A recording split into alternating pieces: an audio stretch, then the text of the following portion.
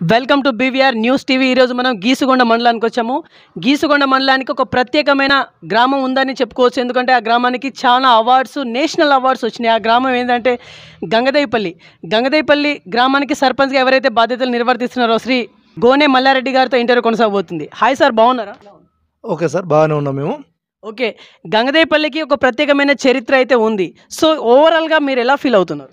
మా గ్రామానికి ఇంత మంచి పేరు ఉండడం ఏంటంటే మా గంగదేవి పల్లి అంటే మారుమూల ఒక ప్రాంతంలో ఉంది.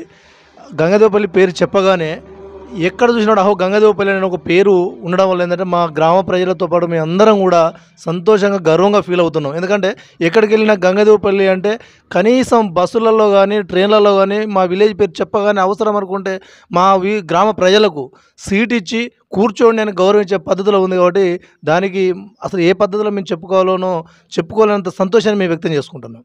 ఓకే. ఇప్పటిదాకా ఎన్ని దేశాల వారు మీ గంగదేవిపల్లి ఆ, గ్రామాన్ని సందర్శించారు?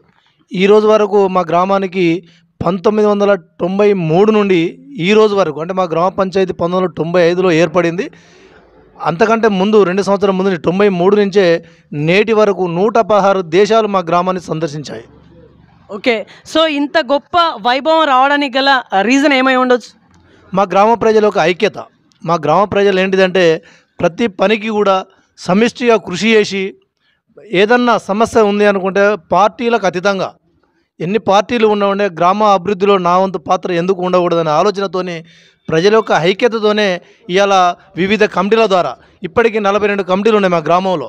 ప్రతి పనికి కూడా కమిటీ ప్రతి ఇంటి కుటుంబ సభ్యులు కూడా ఒక ఏదో ఒక కమిటీలో ఉంటారు కాబట్టి వారి యొక్క ఐక్యత పట్టుదలతోనే మా గ్రామాన్ని ప్రతిదీ కూడా శ్రమదానం ద్వారా చేసుకోవడం వల్ల ఏంటంటే ఈ మీడియా ద్వారా కానీ ఎలక్ట్రానిక్ మీడియా కానీ పత్ మన ప్రింట్ మీడియా ద్వారా కానీ గ్రామ ప్రజల యొక్క ఐక్యతను చూసి ఏంటిదని చెప్పి వీళ్ళు ఇదంతా హైలైట్ చేయడం వల్ల ఏంటంటే మా గ్రామం అయ్యో గంగదేవపల్లి ఎక్కడ ఉంది అని చెప్పి ఆలోచనతోని మా గ్రామాన్ని వివిధ దేశాలతో పాటు వివిధ రాష్ట్రాల నుంచి వివిధ జిల్లాల నుండి గ్రామాల నుండి కూడా అసలు చెప్పుకోలేనన్ని గ్రామాలు ఈ రోజున విజిట్ చేసినాయి. ఇప్పటి వరకు మా గ్రామాన్ని విజిట్ చేయాలనుకుంటే కనీసం మా అపార్ట్మెంట్ ఒక వారం రోజుల ముందు తీసుకొని మా గ్రామాన్ని ఈ రోజు వరకు కూడా సందర్శించే దాఖలు ఉన్నాయి. Okay sir. సో ప్రజెంట్ మీరు సర్పంచ్గా చేస్తున్నారు. సో గతంలో ఏం చేసేవారు? గతంలో నేను దాదాపుగా రే పంతొమ్మిది వందల తొంభై ఎనిమిది నుంచి కూడా నేను మామూలుగా పొలిటికల్గానే ఉన్నాను. దాంతోపాటు నాకు వ్యవసాయం ఉంది. ఆ తర్వాత కొద్ది రోజులు నేను వెజిటబుల్ బిజినెస్ కూడా చేశాను. ఇప్పుడు మా గ్రామంలో కొంత ఖచ్చితంగా మార్పు అనేది ఉండాలనే ఆలోచనతోని మా గ్రామ ప్రజలందరూ కూడా సాధి ఒక ఒకే ఒక పట్టుదలతో ఉండి ఖచ్చితంగా ఎంతో కొంత మన దగ్గర కూడా రాజకీయ మార్పు అనేది కనపడాలి. కాబట్టి నువ్వు ఖచ్చితంగా రాజకీయానికి మాకు అవసరం మా గ్రామానికి నువ్వు సర్పంచ్గా ఉండాలనే ఆలోచనతోని పంతొమ్మిది రెండు వేల పంతొమ్మిదో సంవత్సరంలో జనవరి ముప్పై తారీఖు జరిగిన ఎలక్షన్లో ఖచ్చితంగా నన్ను నిలబెట్టి మంచి అఖండ మెజార్టీతోని మా గ్రామ ప్రజలు నన్ను గెలిపించుకోవడం జరిగింది. వారికి ఎల్లవేళలా ట్వంటీ ఫోర్ ఇంటూ సెవెన్ వాళ్ళకి అందుబాటులో ఉండి సేవ చేసే భాగ్యాన్ని నాకు కల్పించినందుకు కూడా మా గంగదేపల్లి గ్రామ ప్రజలందరికీ కూడా నా వైపున ప్రత్యేకంగా ధన్యవాదాలు తెలియజేస్తున్నాను. సో స్టార్టింగ్ నుంచి వెళ్ళి ఇప్పటిదాకా మీరే సర్పంచ్గా ఉన్నారా? లేదండి పం రెండు వేల పంతొమ్మిది నుంచి వెళ్ళి నేను సర్పంచ్గా ఉన్నాం. గతంలో వేరే వాళ్ళు ఉన్నారు. ఓకే సార్ మీ బాల్యం కావచ్చు అదేవిధంగా మీ ఎడ్యుకేషన్ కావచ్చు ఎక్కడ గడిచింది అంతా మాది గీసుకొండ గంగదేవుపల్లి. మా గ మా గంగ బాల్యంలో మామూలుగా సెకండ్ క్లాస్ వరకు గంగదేవుపల్లిలో చదువుకున్నాను. సెకండ్ క్లాస్ తర్వాత గీసుకొండ హై స్కూల్లో చదువుకున్నాను. తప్ప నేను ఏదో ప్రైవేట్ ఇన్స్టిట్యూట్లో కానీ వెళ్ళి చదివింది కూడా నేను చదువుకోలేదండి. ఏదో నేను గీసుకొండలోనే చదువుకున్నా. ఓకే మీ ఇప్పటిదాకా చేసిన అభివృద్ధి పనులు చెప్పండి. ఇప్పటి వరకు రెండు వేల పంతొమ్మిది నుంచి రెండు సంవత్సరాల కాలం పరిధిలో దాదాపుగా ఒక ఐదు వేల మొక్కలు నాటించడం జరిగింది. ఎందుకంటే మా మండలంలో ఏ గ్రామంలో లేనన్ని మొక్కలు కూడా ఈ రోజు వరకు వా వారానికి ఏడు రోజులు మా ట్రాక్టరు వాటర్కు నడుస్తూనే ఉంటుంది. దాదాపు ఐదు వేల పైన మొక్కలు ఉన్నాయి. మొక్కలు ఎందుకంటే గౌరవ ముఖ్యమంత్రి గారు ఏదైతే ప్రతి గ్రామం పచ్చగా ఉండాలన్న ఆలోచనతోని ఈ యొక్క మన మొక్కలు నాటే కార్యక్రమాన్ని పెట్టిండు కాబట్టి ఖచ్చితంగా మొక్క ప్రతి ఒక్క మొక్కను దక్కించుకున్న ఆలోచనతో హండ్రెడ్ పర్సెంట్ ప్రతి మొక్కను మేము దక్కించుకోవడం జరిగింది. దానితో పాటు రెండున్నర లక్షలతోనే డంపింగ్ యార్డ్ కట్టుకోవడం జరిగింది. పన్నెండు లక్షలతో క్రిమిటోరియం వరకు పూర్తి కాబోతున్నది. ఇంకా అదే విధంగా కూడా మామూలుగా చిన్న చిన్న సైడ్ డ్రైన్స్ ఏమైనా రిపేర్లు ఉన్నా కానీ రోడ్డు రిపేర్లు ఉన్నా కానీ అలాంటి కార్యక్రమాలు ఇంకా చేసినాం. ఇంకా కూడా ఇంకా కూడా మా గ్రామాన్ని ఇంకా ముందు తీసుకుపోవాలనే ఆలోచనతో మేము చూస్తూ ఉన్నాం. సార్ మీకు నిధులు సమృద్ధిగానే వస్తున్నాయా? మాకు ఇప్పటి వరకు మా గ్రామ పంచాయతీకి రావాల్సిన అమౌంట్ ప్రతి మనిషికి నూట ముప్పై రెండు రూపాయలు ఏదైతే సంవత్సరం పదహారు వందల చిల్లర రూపాయలు ఏదైతే ఉందో దాన్ని ప్రతి మంత్లు మా గ్రామ పంచాయతీ అకౌంట్లో జమ అవుతున్నాయి. ఇప్పటివరకు ఆ గ్రామ పంచాయతీ అకౌంట్లతోనే మేము ఆ డబ్బులతో మేము కూడా వివిధ కార్యక్రమాల్లో అన్నింటినీ కూడా డబ్బులు ఖర్చు చేసుకుంటాను. నేను నిధులు మాకైతే ఇప్పటివరకు బాగానే వస్తున్నాయి. గ్రామ పంచాయతీ రావాల్సినవి. ఓకే. ఇంత చరిత్ర ఉన్న గంగదేపల్లి గ్రామానికి కేసీఆర్ పెట్టిన ఏదైతే పథకాలు కావచ్చు అవన్నీ నేరుగా అందుతున్నాయా? ఇప్పటి వరకు మా గ్రామానికి ఏదైతే ఉందో గౌరవ ముఖ్యమంత్రి గారు పత్రికలలో చూశాను లేదా ఎలక్ట్రానిక్ మీడియాలో చూశాను. అసలు గంగదేవపల్లి అంటే ఏంటిది? అది ఎక్కడుంది? ఏ ప్రాంతాన ఉందని చెప్పి ఇప్పటికీ గతంలో ఉన్న ముఖ్యమంత్రులు కానీ గతంలో ఉన్న గవర్నర్లు రాష్ట్రపతులు కూడా మా గ్రామాన్ని పోవడం కూడా జరిగింది. మంకీ బాత్ అనే ప్రోగ్రాంలో కూడా మన ప్రధాని నరేంద్ర మోడీ గారు కూడా గంగదపల్లి గురించి టూ టైమ్స్ మాట్లాడడం కూడా జరిగింది. అదేవిధంగా మన గౌరవ ముఖ్యమంత్రి గారు ఏంటిది చూడాలనే ఆలోచనతోని రెండు వేల పదిహేను ఆగస్టు పదిహేడవ తేదీన అసలు గంగదేపల్లి గ్రామం నుండి నేను గ్రామజ్యోతి కార్యక్రమం మొదలు పెట్టాలనే ఆలోచనతో చూసినప్పుడు మన గౌరవ పరకాల అభివృద్ధి ప్రదాత చల్ల ధర్మారెడ్డి గారిని పిలుచుకొని అసలు గంగదేవపల్లి అంటే ఎక్కడ ఉందండి? మీ పరకాల కాన్స్టిట్యూన్సీలో ఉందని విన్నాను. అసలు ఆ గ్రామం యొక్క ప్రత్యేకత ఏంది? కాబట్టి ఆ విలేజ్కి ఇంకా నేను ఏం చేయాలని చెప్పి అని ఆలోచన చేసి మన ఎమ్మెల్యే గారిని పిలుచుకొని మాట్లాడడం జరిగింది. మాట్లాడిన క్రమంలో అప్పుడు ఆ గ్రామంలో ఎలాంటి అవసరాలు ఉన్నాయో సార్ నేను ఖచ్చితంగా నేను ఒకసారి అక్కడికి వెళ్ళి ఆ ప్రజలతో నేరుగా తెలుసుకుంటా అని చెప్పి చెప్పడం జరిగింది.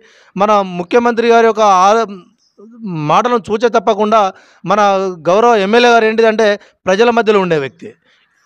పరకాల కాన్స్టిట్యున్సీని ఏ పద్ధతిలో నేనైతే అభివృద్ధి తీసుకోవాలని ఆలోచనతో ఉన్న వ్యక్తి. ఆ ఆలోచనతోనే గంగదపల్లి గ్రామానికి వచ్చి ఇక్కడ ఈ రోజు వరకు మీ గ్రామం ఇట్లా ఉంది ఇంకా మీ గ్రామానికి ఎలాంటి అవసరాలు ఉన్నాయని చెప్పని ఎమ్మెల్యే గారు కోరడంతో మా గ్రామంలో ఏదైతే అవసరం ఉన్నాయో అవన్నిటిని కూడా మేము ఎస్టిమేట్ చేపిస్తే లైన్ ఎస్టిమేట్ చేపిస్తే ఏడు కోట్ల ఇరవై ఆరు లక్షల రూపాయలు మా గ్రామానికి ఇంకా అవ- అవసరం ఉన్నాయని చెప్పి మేము ఎస్టిమేట్లు ఇవ్వగానే ఎప్పుడైతే ఈ ఆగస్టు పదిహేడు రెండు వేల పదిహేనున గంగదేపల్లి గ్రామానికి వచ్చి గ్రామజ్యోతి కార్యక్రమం మొదలుపెట్టిండో అప్పుడు మీ ఏడు కోట్ల ఇరవై ఆరు లక్షల రూపాయలు మా గ్రామానికి అవసరం సార్ అని చెప్పి అడగగానే అప్పుడు మా అంతకుముందు అప్పుడున్న మా సర్పంచ్ గారు ఇట్లా శాంతి శాంతి గారు ఎప్పుడైతే మన ముఖ్యమంత్రి గారిని కోరడం జరిగిందో మా గౌరవ ఎమ్మెల్యే గారు ఆశీస్సులతోని పది కోట్ల రూపాయలు ఇచ్చేస్తాను నేను ఈ గ్రామ అభివృద్ధికి అని చెప్పి చెప్పడం జరిగింది. ఆ పది కోట్ల రూపాయలతోని కూడా ఈ రోజు వరకు ఎనిమిది కోట్ల రూపాయలు మేము ఖర్చు చేసుకోగలిగినాం. ఇంకా రెండు కోట్ల రూపాయలు కొంచెం ఉన్నాయి. వాటిని కూడా ఇప్పటికీ మా గౌరవ ఎమ్మెల్యే గారి యొక్క ఆశీస్సులతోని సారు ద్వారా అభివృద్ధిని ఇంకా కూడా రెండు కోట్ల రూపాయలు ఖర్చు చేసి మా గ్రామాన్ని ఇంకా కూడా అభివృద్ధి తీసుకోవాలని చెప్పి కోరుకుంటాం సో ఇది కాకుండా ఇంకేమైనా చేయాలనుకుంటున్నారా? ఇప్పటికి మా గ్రామంలో కొంత మా దగ్గర ఏంటంటే బెడ్ డబుల్ బెడ్రూమ్. ముప్పై రెండు కుటుంబాలకు ఇండ్ల జాగాలు లేకుండా ఇండ్లు లేకుండా ఉన్నారు. ఆ పద్ధతిలో కొంతమందికి ఇండ్లు లేకుండా ఇండ్ల జాగలు ఉండవలన్నారు. దాదాపు కనుక మా గ్రామానికి కనీసం ఒక డెబ్బై ఎనభై ఇండ్లు కనుక ఇచ్చినట్లయితే మా గ్రామ ప్రజలందరూ కూడా డబుల్ బెడ్రూమ్ ఇండ్లతో ఉండి ముఖ్యమంత్రి గారు ఇప్పటికే రెండు వేల పదిహేను నుంచి పది కోట్ల రూపాయలు ఇచ్చినందుకు రుణపడి ఉన్నాం. ఇంకా కూడా మా గ్రామ ప్రజలకు ఈ డబుల్ బెడ్రూమ్ కనుక ఇచ్చినట్లయితే ఇంకా కూడా ఈ గ్రామంలో మా ప్రజలందరూ కూడా ఎల్లవేళలా మా గౌరవ ఎమ్మెల్యే గారి ధర్మారెడ్డి గారికి అదేవిధంగా ముఖ్యమంత్రి గారికి ఎప్పుడు కూడా నిత్యం వారికి చేదోడు వాదోడుగా ఉండి మేము ఏదైనా వాళ్ళకి సేవలు చేయడానికి మేము సిద్ధంగా ఉన్నాం. ఇంకా కూడా మా గ్రామాన్ని ఇంకా కొన్ని రోడ్స్ ఉన్నాయి. ఆ రోడ్స్ కూడా కొన్ని కొన్ని డ్రైనేజీలు ఉన్నాయి. అన్ని గ్రామాలలో డ్రైనేజ్ ఉంది. మా గ్రామంలో డ్రైనేజ్ ఉంది. అది కాకుండా ఏంటంటే మా జాతీయ స్థాయిలోనూ ఆ గు- గుర్తింపు పొందిన ఆదర్శ గ్రామం కాబట్టి మా గ్రామాన్ని ఇంకానైనా దృష్టిలో పెట్టుకొని మా ఎమ్మెల్యే గారి యొక్క చొరవతోని గౌరవ ముఖ్యమంత్రి గారు మా గ్రామంలో అన్ని గల్లులలో మెయిన్ రోడ్లో కానీ టోటల్ అండర్ గ్రౌండ్ డ్రైనేజ్ ఇవ్వాలని చెప్పి ఈ యొక్క మీడదారు కూడా నేను ముఖ్యమంత్రి గారిని కానీ మా గౌరవ ఎమ్మెల్యే గారిని కానీ నేను కోరుకుంటా ఉన్నా. అదే పద్ధతిలో మా విలేజ్లో దేవాలయం అనేది లేదు. ఇంకా కూడా మేము దేవాలయాన్ని కట్టుకోవడానికి కూడా అది చేస్తున్నాం. ముఖ్యమంత్రి గారు కనుక దానికి సంబంధించిన నిధులు కనుక మనం చేసినట్లయితే ఖచ్చితంగా మా గ్రామంలో మా గ్రామంలో ఈ రోజు వరకు దేవాలయం లేదు. దేవాలయం కట్టుకోవడానికి ఇంకా కూడా మేము కృషి చేద్దామని చెప్పి కోరుకుంటా ఉన్నాం. ఓకే అసలు పొలిటికల్ పరంగా మీకు ఇన్స్పిరేషన్ ఎవరు? అంటే పొలిటికల్కి రావాలని చెప్పేసి మీకు ఎందుకు అనిపించింది? అప్పుడు పంతొమ్మిది వందల తొంభై ఎనిమిదికి ముందు మా విలేజ్ మొత్తం కమ్యూనిస్టు పార్టీ ఎందుకంటే మా నాన్న కమ్యూనిస్టు పార్టీ మా బ్రదర్ కమ్యూనిస్టు పార్టీ నేను కూడా అదే కమ్యూనిస్టులో ఎంసీపీ పార్టీలో పనిచేసినాం.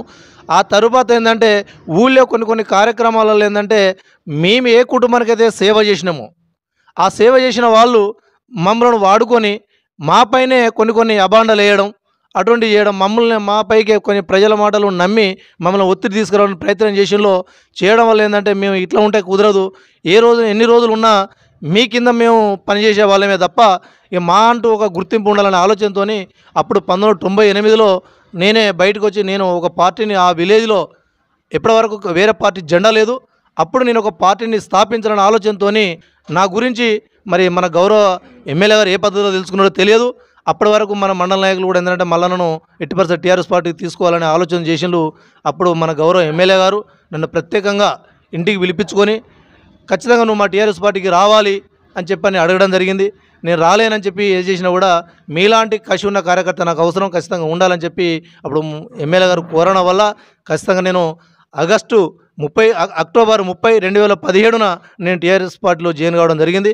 ఆ రోజు నుంచి ఈ రోజు వరకు కూడా పార్టీకి కట్టుబడి పార్టీకి కట్టుబడుకుంటూ మన గౌరవ మన పోలీస్ ధర్మారావు గారు మండల పార్టీ అధ్యక్షులు ప్లస్ జడ్పీటీసీ వారి యొక్క మాటలను చూచ తప్పకుండా కూడా వినుకుంటూ పార్టీ యొక్క అభివృద్ధిని కానీ గ్రామ ప్రజల అభివృద్ధిని కానీ చూసుకుంటూ వారి యొక్క ఆపదలకు చేదోడవాదుగా ఉండి నేను ఇప్ప ఈరోజు వరకు ఉంటున్నా. ఇప్పటికి కూడా ఎమ్మెల్యే గారి యొక్క ఆశీస్సులతోని మా జడ్పీటీసీ ధర్మారావు గారి యొక్క మాట చూచ తప్పకుండా కూడా ఇంకా కూడా నా గ్రామ ప్రజలందరికీ అండగా ఉండి నేను ఇంకా కూడా పైకి మా గ్రామ ప్రజలందరినీ గుర్తింపు తీసుకోవాలని ఆలోచన చేస్తూ ఉన్నాం. ఇప్పటికీ మా గ్రామం జాతీయ స్థాయిలో ఉంది. జాతీయ స్థాయిలో కాకుండా ఇంకా కూడా మా అడిగిన కొన్ని నిధులు కూడా ముఖ్యమంత్రి గారు ఇంకా ప్రత్యేక చొరవ గారుగా తీసుకొని మా గ్రామానికి కనుక ఇచ్చినట్లయితే జాతీయ స్థాయిలో కాకుండా ఇంకా అంతర్జాతీయ స్థాయిలో తీసుకుపోవాలనే ఆలోచన మా గ్రామాన్ని చేయాలనే ఒక ఆలోచన చూస్తూ ఉన్నాం. అట్లా కనుక చేసినట్లయితే ఇంకా మా గ్రామ ప్రజలు ఎప్పుడు తిరుగులేని శక్తిగా టీఆర్ఎస్ పార్టీకి అండగా ఉంటుందని చెప్పి నేను కోరుకుంటాను ఓకే పొలిటికల్ పరంగా మీకు ఏమైనా డ్రీమ్స్ ఉన్నాయా? అంటే ఇంకా సర్పంచ్ కాకుండా ఎంపీపీ కావచ్చు జెడ్పీటీసీ కావచ్చు ఇంకేమైనా డ్రీమ్స్ ఉన్నాయా? ఇక డ్రీమ్స్ అనేది ప్రతి ఒక్కరికి కోరికలు ఉంటాయి. కానీ మా పైన మా ఎట్లాగో మా నాకంటే సీనియర్లు ఉన్నారు. వాళ్ళందరూ ఏది కనుక బాధ్యతతో ఇస్తే ఖచ్చితంగా నేను కావాలని అడిగేదైతే ఉండదు. వాళ్ళు కనుక నువ్వు ఈ పలాని పని చెయ్యి పలాని దానికి నువ్వు పోటీ చేయని కనుక మా నాయకులు మా పా మండల పార్టీ అధ్యక్షులు కానీ మా ఎమ్మెల్యే గారు కానీ మిగతా మా మండల నాయకులు అందరూ కూడా వీళ్ళందరూ కనుక మళ్ళా నువ్వు గీడ ఉండు అంటే గాడ ఉంటా. వాళ్ళు ఏ పని చెప్తే అది చేయడానికి సిద్ధం పార్టీ పరంగా. Okay sir. సో ఇప్పటిదాకా ఎలాంటి అవార్డ్స్ అందాయి? ఇప్పటి వరకు మా గంగదేవపల్లి గ్రామానికి ఏదైతే గ్రామ ప్రజల యొక్క ఐక్యతతోని మా గ్రామం మేన్ పంతొమ్మిది వందల తొంభై మూడుకు ముందు మచ్చాపూర్ గ్రామ పంచాయతీ ఆమ్లెట్ విలేజ్గా ఉండే. తొంభై ఐదులో గ్రామ పంచాయతీ ఏర్పడ్డది. ఏర్పాటు అప్పటి నుంచి ఏంటంటే తొంభై మూడులోనే మా గ్రామంలో మెయిన్ మా గ్రామం ఇంత ఒక చరిత్ర రావడానికి కారణం ఏంటంటే బాల వికాస. ఫస్ట్ బాల వికాస. బాల వికాస ద్వారానే ఈ రాజకీయ పరంగా ప్రభుత్వ యొక్క పథకాలు ప్రభుత్వం యొక్క చేయు చేయుత బాల వికాస తోడుతోనే మా గ్రామాన్ని ఈ విధంగా తీసుకురావడం జరిగింది. గ్రామ ప్రజలు ఏదైతే గడువులోపు ఏదన్నా ప్రభుత్వ పరంగా ఇచ్చిన టైము కంటే ఒక వారం రోజులు కనుక ముందు చేసుకున్నట్లయితే మీ గ్రామానికి ఇది ఈ పని చేస్తామని చెప్పి మాకు అప్పుడున్న డిపిఓలు వివి రాజేశ్వరరెడ్డి గారు కానీ అప్పుడున్న కలెక్టరు ఆదిత్యనాథ్ దాస్ గారు కానీ అప్పుడున్న క్రమం నుంచి వెళ్ళి ఈరోజు వరకు జిల్లా స్థాయి మండల స్థాయి గ్రామ స్థాయి నుంచి వెళ్ళి మొదలుకుంటే దేశ స్థాయి వరకు. అంటే గవర్నరు పాండిచ్చేరి మూడు రాష్ట్రాల గవర్నర్లు కూడా రాష్ట్రపతితో కూడా అవార్డులు మొత్తం ఇప్పటివరకు ఇరవై ఆరు అవార్డులు తీసుకోవడం జరిగింది మా గ్రామానికి. ఆ గ్రామానికి ఇరవై ఆరు అవార్డులు తీసుకోవడం ఒకే ఎత్తు అయితే మా గౌరవ ముఖ్యమంత్రి కల్వకుంట్ల చంద్రశేఖరరావు గారు మా గ్రామానికి ఇచ్చిన పది కోట్ల రూపాయలు అవే మాకు ఒక ఇరవై ఆరు అవార్డులుగా మేము సంతోషంగా ఫీల్ అవుతున్నాం. ఓకే ఫైనల్గా మీ గంగదేపల్లి గ్రామ ప్రజలకి ఎలాంటి సందేశాన్ని ఇవ్వదలుచుకున్నారు? ఇప్పటివరకు మా గంగదేపల్లి గ్రామ ప్రజలకు ఏ సందేశం మా దగ్గర ఒక నిరుద్యోగ యువత బాగా ఉంది. వారికి ఖచ్చితంగా ఏదో ఒక రోజు మనకు కూతపెట్టు దూరాన్ని టెక్స్టైల్ పార్క్ పడతా ఉంది.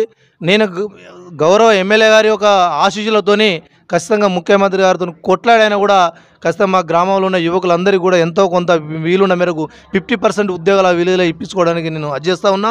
అదేవిధంగా ఏంటంటే ప్రతిదీ కూడా వాళ్ళను మంచి మార్గంలో వెళ్ళడానికి రైతు పరంగా కూడా ఏంటంటే వాణిజ్య పంటలు కానీ లేదా ఇంకేదన్నా నా సాయశక్తుల వెజిటబుల్ పంటస్ ఈజీ ఈజీఎస్ ద్వారా వేయించుకోవడం కానీ వాళ్ళను ఆర్గానిక్ పద్ధతిలో తీసుకెళ్ళి గ్రామాన్ని ఏదైతే నిజామాబాద్ జిల్లాలో అంకాపూర్ అనే ఒక విలేజ్ ఉంది ఆ అంకాపూర్ విలేజ్లో ఏదైతే మార్కెటింగ్ అక్కడికి రైతుల వద్దకి వెళ్ళి నేరుగా కొనుగోలు చేస్తూ ఉన్నారో మా గ్రామ ప్రజలందరికీ సరైన సూచనలు ఇచ్చి ఆర్గానిక్ పద్ధతులు వ్యవసాయం చేయించి అవసరం అనుకుంటే వరంగల్ మార్కెట్ మనకు పన్నెండు కిలోమీటర్ల దూరాన ఉన్న గంగదేవపల్లికి వచ్చి కూరగాయలు కొనాలనే ఒక ఆలోచనతో చేయాలనే ఒక సంకల్పం ముందుంది.